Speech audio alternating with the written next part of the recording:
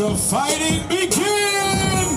Put down the guns and pick up the boxing gloves. We're here to support boxing for youth, boxing for peace, trying to bring our youth out from the street, stop the violence.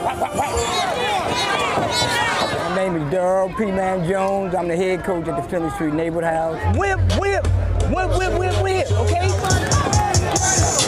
Punching for peace. This will stop them from going out in the street doing something wrong. Come to the gym. That's what it's about, discipline.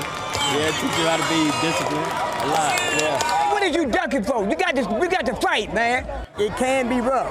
Now, if you ain't hard or rough, you're not gonna make it in boxing. You wanna win this fight, we're gonna lose it. This round, you're gonna have to fight. You got to move your head. God got me here for a reason to help our youth, to bring them up off the street to do something positive in their life. And this is the great stepping stone, right here. They're down here under the big light on Fountain Square. Take care of both fighters and please be with everyone here in the arena tonight. And take care of everybody. In the name of the Lord's Prayer, amen. Support the kids, you know, that's our future, you know. Just, you know, just support them, you know, just come down here to support them is the main thing.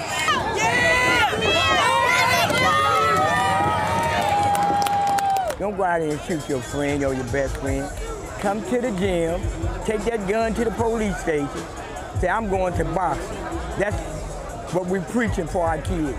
You don't need no violence with no gun. You want to do some violence, do it in the ring legally with your glove. And that's why we say put down the guns and pick up the gloves.